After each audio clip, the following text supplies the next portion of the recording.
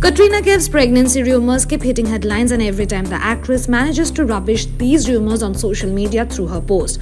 Now, most recently, Katrina was spotted at the airport wearing loose trouser and sweatshirt. And once again, this look of Katrina sparked her pregnancy rumors, and fans are guessing that Katrina and Vicky Kaushal will soon announce their pregnancy. One user wrote, she looks pregnant. It's a good thing. Another one commented, She is one of those actresses who is fittest and flat tummy. So it's clearly seen now. Hope they will announce soon. The couple tied the knot on 9th of December 2021 in a royal wedding ceremony in Rajasthan. For more news and updates, stay tuned to E-Times.